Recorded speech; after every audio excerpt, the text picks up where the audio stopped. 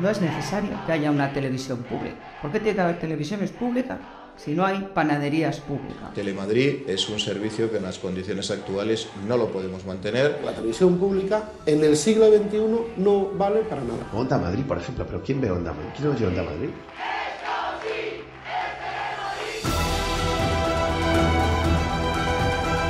Mi nombre es Margot Martín y el 12 de enero de 2013 recibí un burofax en el que me indicaban que ya no necesitaban mis servicios en Telemadrid.